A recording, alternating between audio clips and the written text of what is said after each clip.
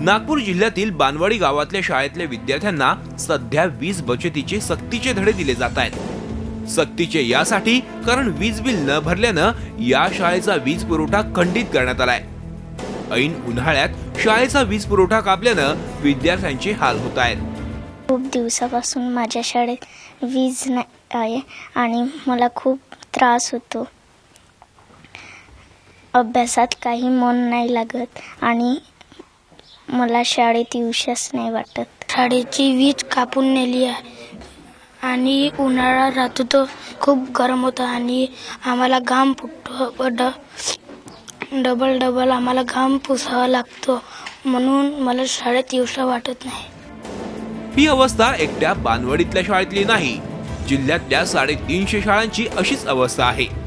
सर्व शिक्षा अभियानाअंतर्गत या शाळांना दरवर्षी दहा हजार रुपये अनुदान मिळतं.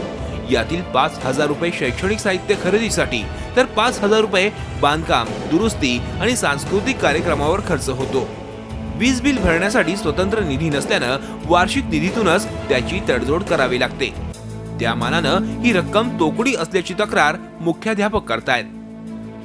जे शासकीय अनुदान मिळते त्यामध्ये दहा हजाराचं अनुदान मिळते दरवर्षाला शाळेला. तर त्यामध्ये दर महिन्याचं जे विद्युत खर्च आहे ते जर पाहिलं तर त्या अनुदानात ते भरणं शक्य नाही आहे पुरेसा अनुदान उपलब्ध नसल्यामुळं बिलाची जी रक्कम होती ती जरा जास्तच प्रमाणात होती. त्यामुळे ते थकीत राहिलं. हे सरकार प्रगत शैक्षणिक महाराष्ट्र या अभियानांतर्गत सर्व शाळा ह्या डिजिटल व्हावा या गोष्टीसाठी आग्रही आहे. आणि दुसरी स आणि दुसरीकडे ही बाब पूर्ण करण्याकरिता जी पायाभूत सुविधा हवी आहे ती विजेसारखी पायाभूत सुविधा आज तारखेत अनेक शाळांमध्ये नाही आणि ज्या शाळांमध्ये आहे तिथल्या थकीत वीज बिलापोटी त्या शाळांमधील वीज वीज वीज जोडणी खंडित केली आहे. या संदर्भात आम्ही नागपूर जिल्हा परिषदेचे शिक्षण सभापती उकेश चव्हाण यांची भेट घेतली आणि परिस्थितीचं गांभीर्य त्यांना सांगितलं. त्यांनी तातडीनं यासाठी एक लाख रुपयांची तरतूद केली आणि वीज वितरण कंपनीला वीज पुरवठा तातडीनं सुरू करण्याची विनंती केली. येत्या दहा दिवसात शाळेतला वीज पुरवठा पूर्ववत करण्याचं आश्वासन त्यांनी दिलं. बिलचा जो खर्च होता आमचा अनेक वर्षापासून निघालेला नाही. तो नक्कीच आम्ही आता त्याच्यामागे लागलेलो आणि तो ब क्लिअर होणार आहे. आणि तो पैसा आला म्हणजे ही जो त्रास झाला आहे तो काही होणार नाही.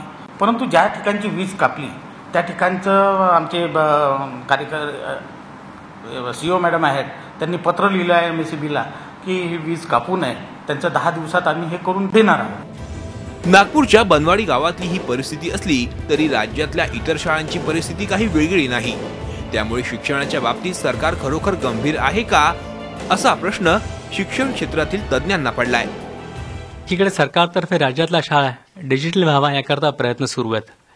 पण ते होण्याकरता अतिशय मूलभूत जी बाब आहे ती वीज जर का शाळेत नसेल तर ते कसं शक्य होईल ह्याचा सरकारने आता विचार करायला हवा.